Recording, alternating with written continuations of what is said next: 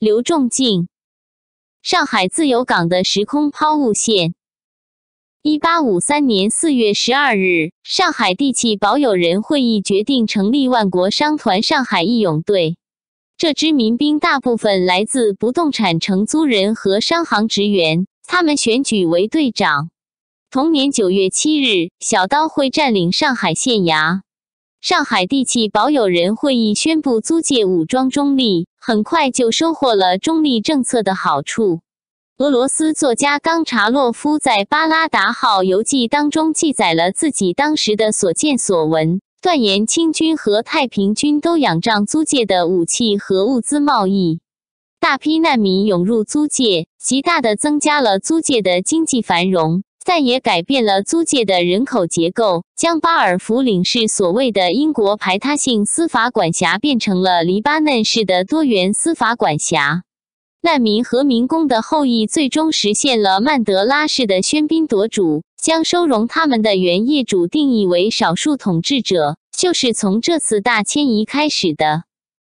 部分业主已经预见到未来的危险，但大多数业主贪图房租地价暴涨的厚利。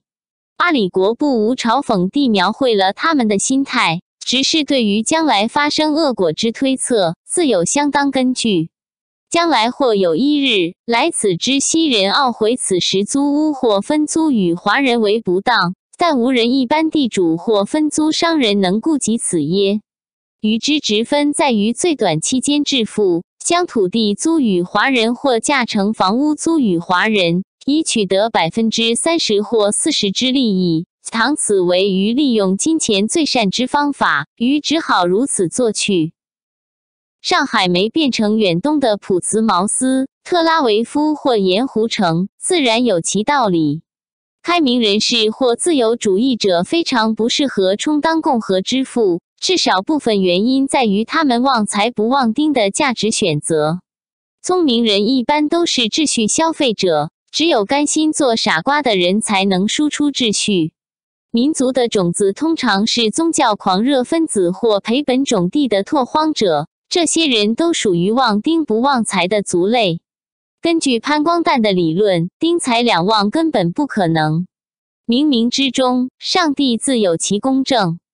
普茨茅斯和盐湖城过于偏僻，一开始就不是能搞物业升值的地方。特拉维夫其实是有条件做贝鲁特的，但西安主义工人党提出，只有劳动者都是犹太人，犹太国才能站稳脚跟。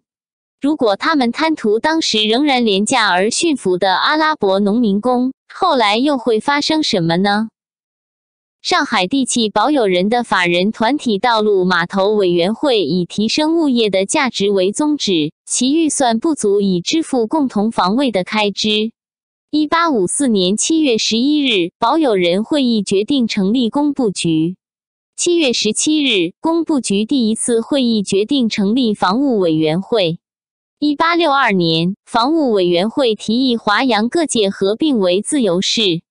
自由市的议会由华阳全体业主和纳税人组成的大选举团选出，产生有能力保护地方安全的强大政府。自由市计划没有任何新奇之处，英国人在北美和印度的法人团体都是这样演变的。或者不如说，五港联盟、汉萨同盟和中世纪的法人团体都是这样产生的。东印度公司的民兵打败比哈尔总督以后，就像莫卧儿皇帝一样接受印度各军侯的保护费。弗吉尼亚的民兵在华盛顿上校领导下打败印第安人以后，就在华盛顿将军的领导下赶走了大英皇军。大清皇帝的抵抗能力并不比莫卧儿皇帝强多少。东亚合众国的弗吉尼亚奠基石之所以未能产生，主要是因为封建主义的自组织发源地已经开始衰弱。一百年以前，民族国家还是闻所未闻的事物。英格兰国王无权干涉马萨诸塞公司、哈德逊湾公司和东印度公司的特许权。正如他无权干涉伦敦市的特许权，领事只是商团选举产生的代理人，公司和自治市镇只对业主负责。民族国家产生以后，一切都变了。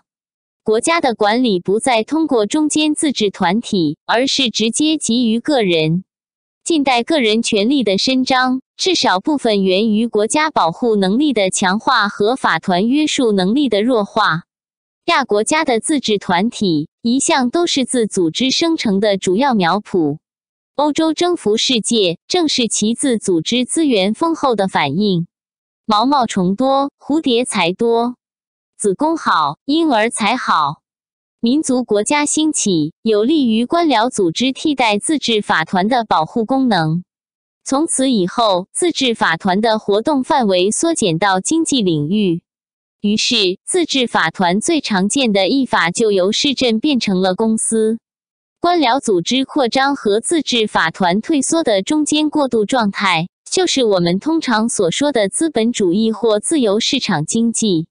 保持现状是世界上最困难的事情，不进则退才是演化体系最常见的现象。官僚组织的进一步扩张和自治法团的进一步退缩，就造成了我们所说的社会主义或中央计划经济。列宁和墨索里尼为什么对组织国家的胜利信心满满？韦伯和斯宾格勒为什么对文明的前提忧心忡忡？如果忽略了长期历史演化的背景，都是无法理解的。林则徐的时代和李鸿章的时代虽然相去并不甚远，但交涉的对象已经不再是同一个欧洲。西方冲击模式习惯于假定大清和欧洲都是一成不变的实体，漏掉了至关紧要的历史脉络。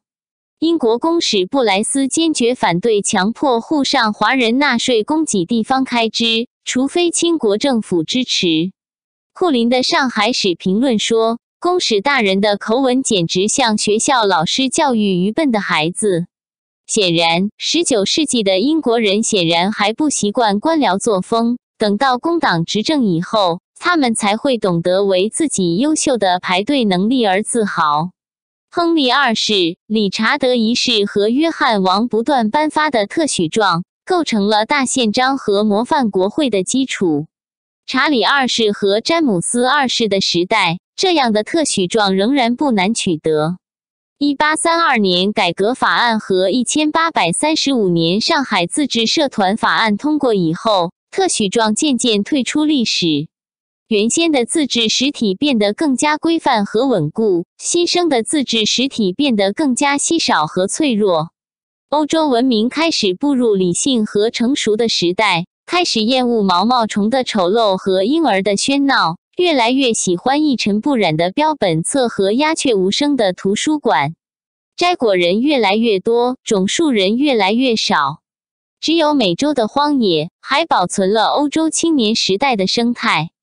对宴享的宾客而言，最辉煌的时刻就要来临；对挣扎的幼芽而言，最美好的光阴早已过去；对漂流的种子而言，最适当的季节还在未来。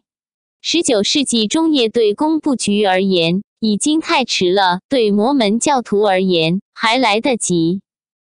闻讯长叹：上海何其不幸！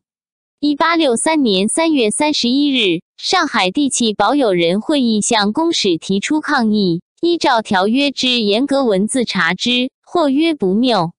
然无人就事论事，谨守条约之精神，则另有说也。清国当局干涉租界之举，不可不有所限制，关系本部未来之安全与幸福者，实非等闲。一八六四年，北京公使团会议否决了自由式计划。这次表态不是孤立或偶然的事件，而是远东条约体系日益稳固的一系列迹象的一部分。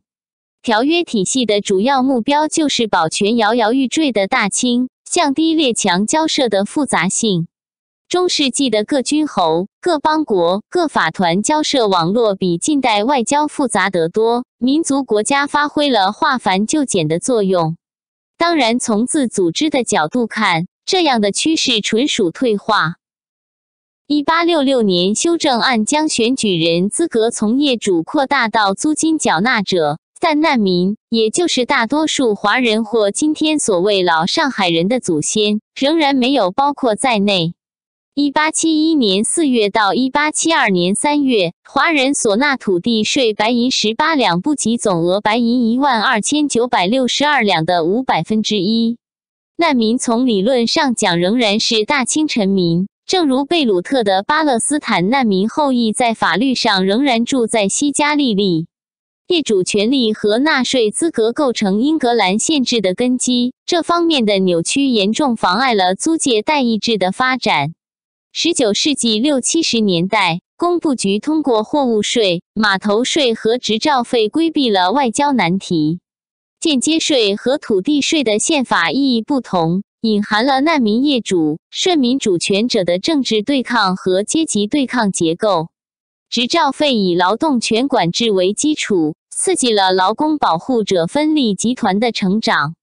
后来的帮会、黑社会、革命恐怖主义团体。都是在这样的环境内产生的。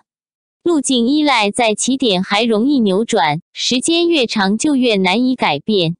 管理的先进弥补不了限制根基的脆弱性，甚至给后者增加了更多的压力。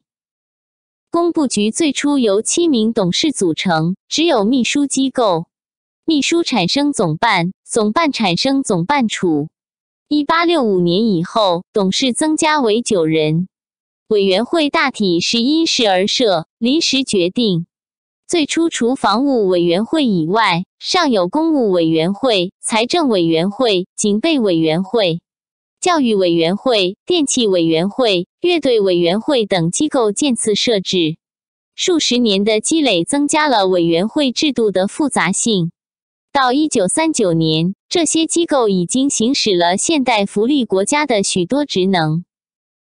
纳税人会议表示满意，因为一九三八年的财政形势居然不如预计的恶劣。然而，这一切只是回光返照，纳税人自主征税的日子已经屈指可数。汪兆铭政府的上海特别市政府终将实现华洋两界合并的梦想，然而方式与十九世纪人的设想恰好相反。代议制在远东历时最久的实验，随著殖民主义的余波消失得无影无踪。全文完。